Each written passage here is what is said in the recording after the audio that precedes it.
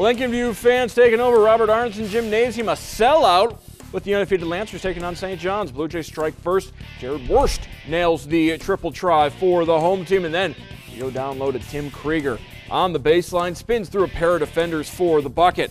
Lancers looking for their first field goal of the game. They'll go to Chandler Adams, splits the defense, lays it in. More from the Lancers. Hayden Ludwig hits the offensive glass, gets the putback, and just like last night, a close game for Lincolnview and Delphos, but they get the victory, remain undefeated, 53-40 the final. So next Friday, LCC Lincolnview will square off. Both play on Tuesday. They'll try to remain undefeated for the Lancers as they host LCC next week.